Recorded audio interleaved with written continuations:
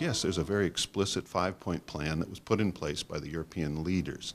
The issue is one of the design of the details, creating the consensus around the details, and showing the political will to implement these, uh, these plans effectively.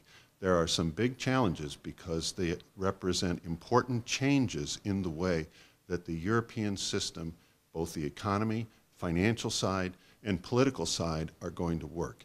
So a lot of uh, political consensus and will is going to be needed.